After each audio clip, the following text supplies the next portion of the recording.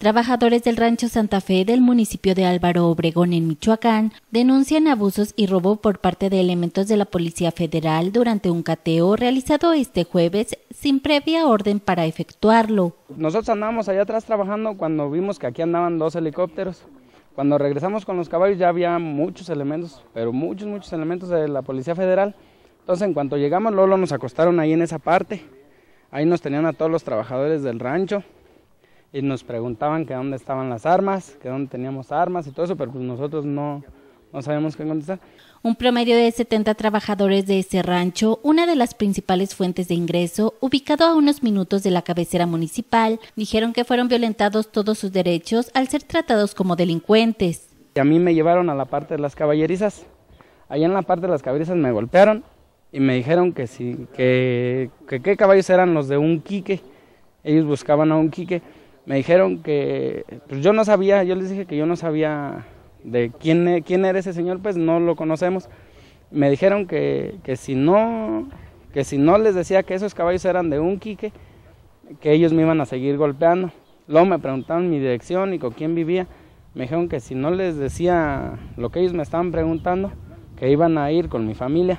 Al oír el sobrevuelo de los helicópteros de la Policía Federal y la movilización por tierra, decenas de vecinos y familiares de trabajadores del rancho acudieron para saber de qué se trataba, ya que desde hace algunos días tienen la amenaza de posible ingreso de autodefensas.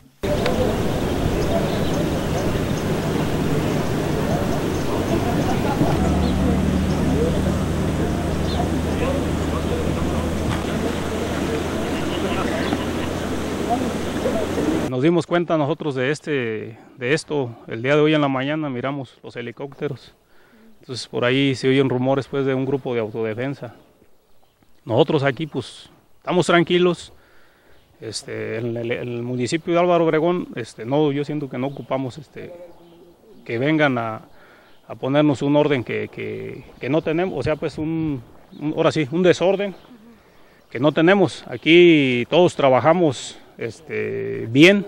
Venían tres personas de civil con ellos y cuando nos tenían ahí a todos acostados, nos levantaron la cara a todos y las personas de civil nos tomaron una foto a todos que para ver si nos reconocían. A, cada uno de nosotros nos tomaron una foto y nos apuntaron nuestros nombres y ahí nos dejaron tirados. Algunos de los policías federales que ingresaron a este rancho permanecieron durante varias horas en la carretera que pasa junto a la cabecera municipal, cerca del Aeropuerto Internacional de Morelia, Francisco J. Mújica. Con información de Sandra Sáenz, informa Cuasar.